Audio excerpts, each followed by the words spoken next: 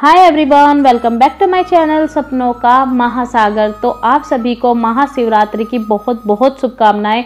जब ये वीडियो जाएगी तो उससे अगले दिन ही, यानी कि 18 फरवरी 2023 को महाशिवरात्रि का दिन पड़ रहा है, जो कि बहुत ही पवित्र दिनों में से एक दिन होता है। यानी कि दिन बहुत पवित्र होता है और इनमें भगवान शिव माता पार्वती पृथ्वी का भ्रमण करते हैं और जो भी व्यक्ति सच्चे मन से इनकी पूजा अर्चना करते हैं, सच्चे मन से मन्नत मांगते हैं, उनकी मन्नतें अवश्य ही पूरी होती हैं।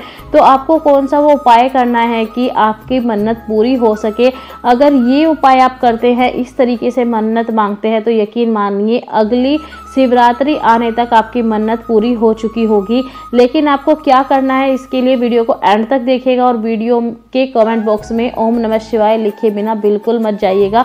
वीडियो को लाइक भी करना और शेयर भी करना ताकि सभी को इसकी मदद मिल सके और सभी भगवान सिंह से अपनी प्रार्थना कर सके, अपनी मन्नत को मांग सके। तो पहले बात करते हैं कि आपको क्या नहीं करना है।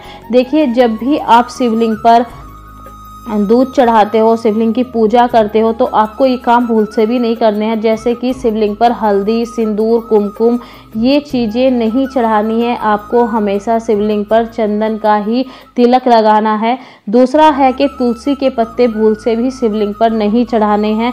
तीसरा है संग केत की कनेर और कमल के फूल या टूटे चावल भी शिवलिंग पर नहीं चढ़ाने हैं। नहीं तो आपकी जो पूजा अर्चना है वो नहीं लगती है। ठीक है? और उल्टा आप पे गलत ही असर इन चीज़ों का पड़ता है। अगला मैं आपको बताती हूँ कि किस तरह से या कौन सा तरीका सही होता है शिवलिंग पर जल चढ़ाने का, जिससे कि आपकी जो मनोकामना है वो पूर्ण होती है। उपाय मैं सबसे लास्ट में बताऊँगी तो वीडियो में बने रहिएगा। देखिए, जब भी आप जल चढ़ाते हैं शिवलिंग पर तो हमेशा दाई तरफ़ सबसे पहले चढ़ाएँ, क्योंकि दाई तरफ़ गणेश जी का वास माना जाता है। फिर बाई तरफ़ चढ़ाएँ, जहाँ पर कि कार्तिकेय जी का स्थान माना जाता है, और बीच में फिर आपको जल चढ़ाना है, जहाँ की अशोक सुंदरी का स्थान माना जाता है। फिर आपको जहाँ से शिवलिंग की उत्पत्ति हुई है, यानी शिवलिंग के चारों ओर आपको जल चढ़ाना है क्योंकि ये माता लक्ष्मी के हा माता पार्वती के हाथ माने जाते हैं और उसके बाद आपको शिवलिंग पर जल चढ़ाना है। शिवलिंग पर जल चढ़ाने का ये तरीका होता है, अगर आप इस तरीके से चढ़ाते हो तो आपकी मनोकामना बहुत जल्दी पूरी होती है। ठीक है इसके साथ में आपको क्या क्या चढ़ाना है वो मैं बता देती हूँ। जैसे बेलपत्र, भाँग के पत्ते और जो जल आप लेके जाओगे उसमें आपको ये चीज़ें मिला लेनी है। इनमें से पाँच चीज़ें आपको उस जल में मिला लेनी है।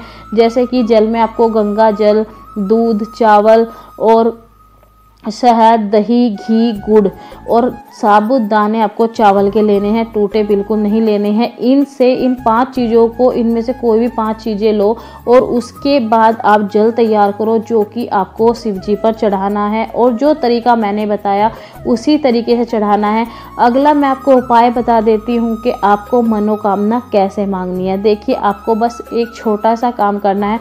आपको सात काले तिल लेने हैं और एक काली मिर्च लेनी है, जिनको अपनी मुट्ठी में लेकर आपको अपनी मनोकामना को सात बार बोलना है कि, भोलेनाथ, मेरी ये मनोकामना है, इसको पूर्ण कर दीजिए।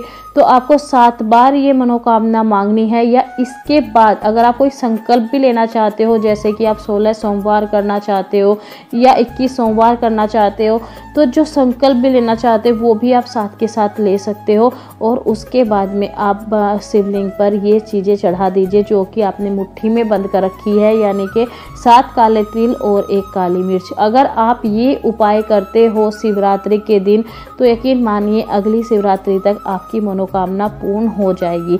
तो वीडियो कैसी लगी ज़रूर बताना और कमेंट बॉक्स में ओम नमः शिवाय ज़रूर लिखना। वीडियो को ज़्यादा से ज़्यादा शेयर करो ताकि सभी के पास ये वीडियो जाए और सभी अपनी मनोकामना पूरी करा सके। लेकिन आप जो भी भगवान शिव से मांगोगे, वो बिल्कुल पवित्र होना चाहिए। उसमें किसी का कोई नुकसान नहीं होना चाहिए।